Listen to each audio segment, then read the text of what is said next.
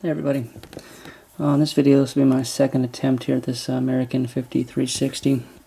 Uh, it's a used lock I got on eBay on accident. I um, just put a, put a low bid in, expecting to get outbid and hoping to get outbid, and then got notified a few days later that I didn't get outbid.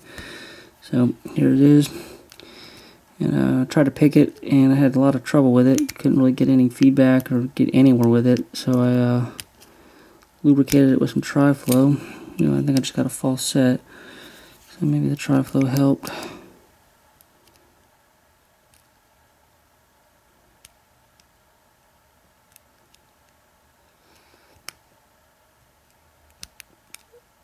Yeah, I dumped it out of the box here a few minutes ago. And, um, 30 minutes ago, whatever, the key came out or rattled, so I didn't go fishing through the packaging. It's supposed to have a key. Okay, then I just lost the false set, so maybe I'm actually getting somewhere this time.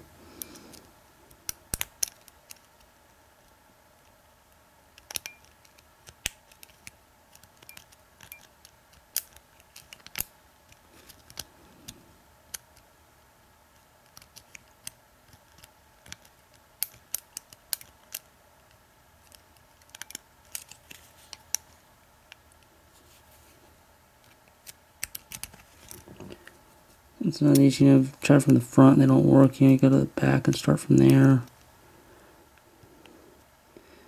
Then you have a short pin at the back, and long pins in front of it. You know, the, if the key pins are serrated, I don't know if these are or not, I would assume they are American pins and assume they are, but it can be easy to overset them. And the springs are so weak in these that it's hard to get them back down.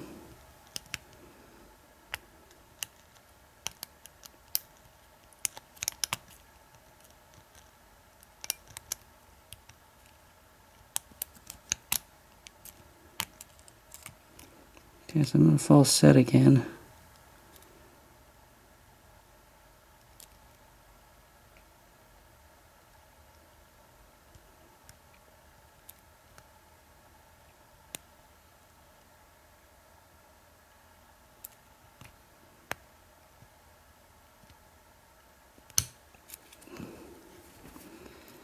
I think I just set one.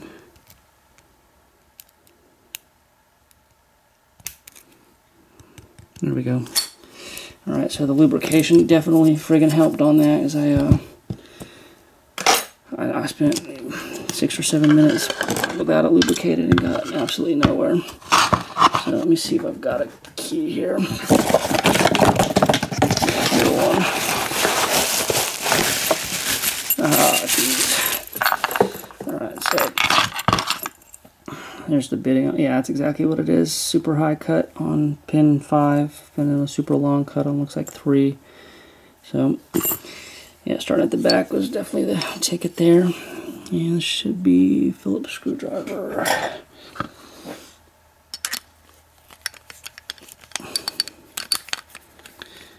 And I believe that one will be a spool, I think. I don't know about any of the rest of them.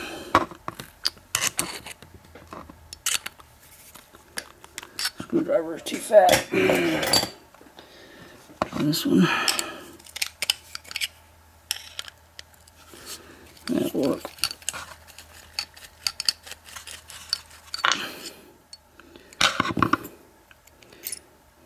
Let's see.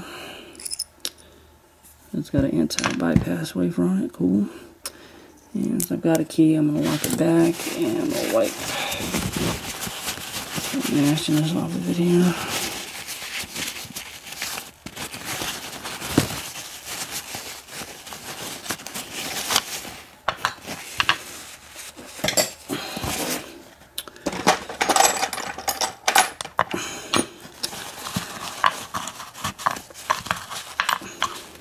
Yeah, Tri-Flow is good stuff for uh, lubricating locks.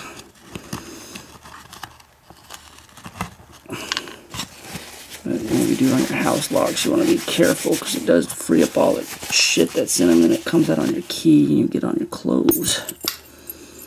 And turn it this way. Padlock fall over here.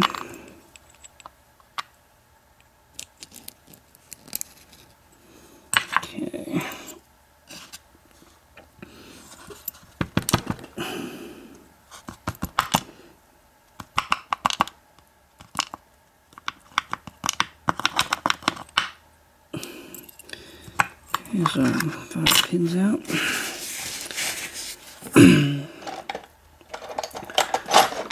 Because oriented.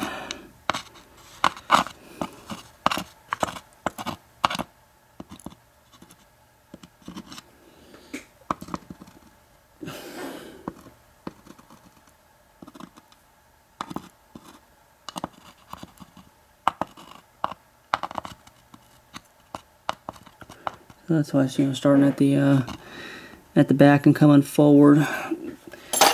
Why to not overset those other long pins in front of that one. There's my other tweezers I was looking for. So we can get the uh, top. Actually, I'm going to go pin 5 first because I stuck the follower in the wrong way. So, um, this will be pin number 5, which is going to be a serrated pin. Pin number 4 serrated, three serrated.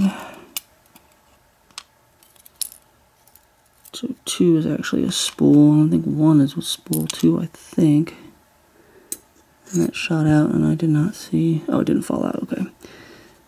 Yep, so one and two are both spools. And the rest are all serrated. And these are just going to be regular American springs here. Nothing special about the springs, just stock American springs.